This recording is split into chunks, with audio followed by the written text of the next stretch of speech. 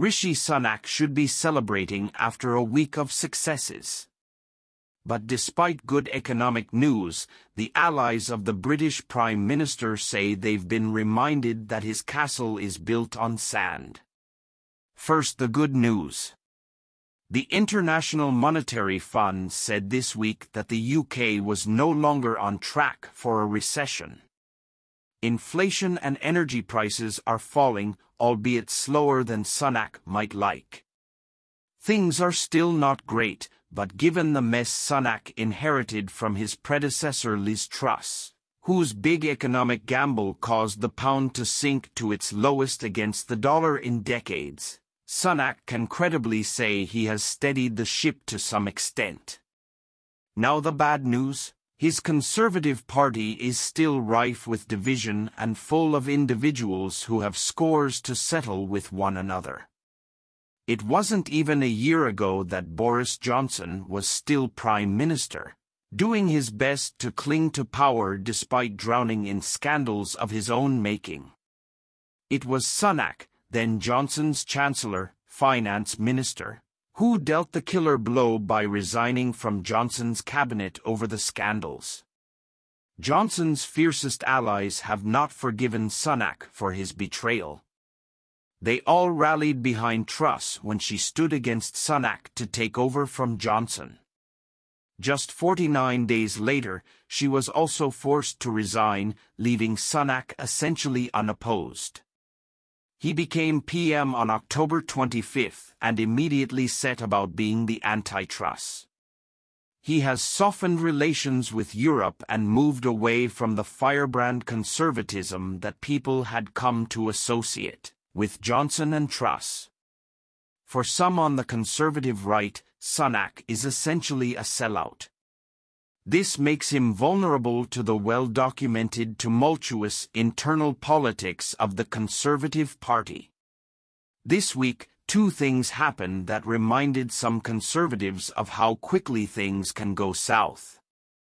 First, he had to make a decision over what to do with his Home Secretary, Suella Braverman, after it was revealed she had asked civil servants to help her avoid a speeding fine by organizing a private driving awareness course. Sunak decided her actions didn't breach the ministerial code, which would have required her to resign by convention.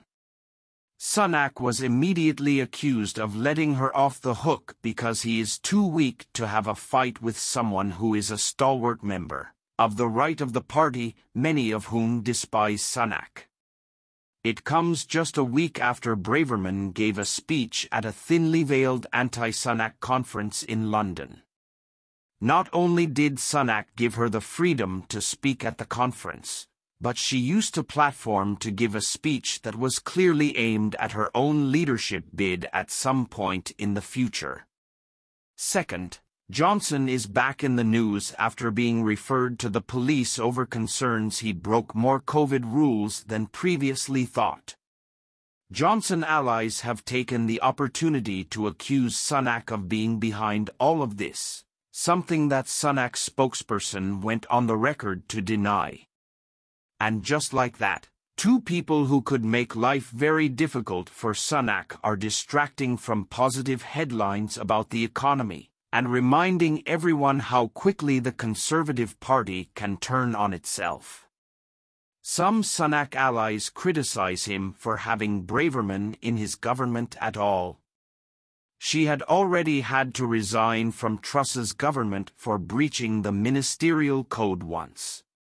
Her ambitions are well known and she is top of the list of cabinet ministers to martyr herself before the next election in order to position herself for any vacant leadership position that might come up if the Conservatives lose power.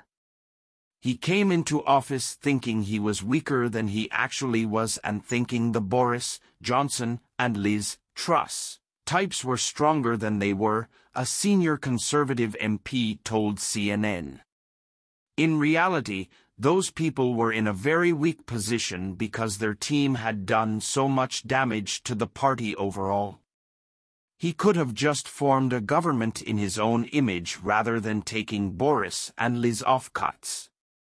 His lack of confidence in himself made them more powerful in the long run, the MP adds.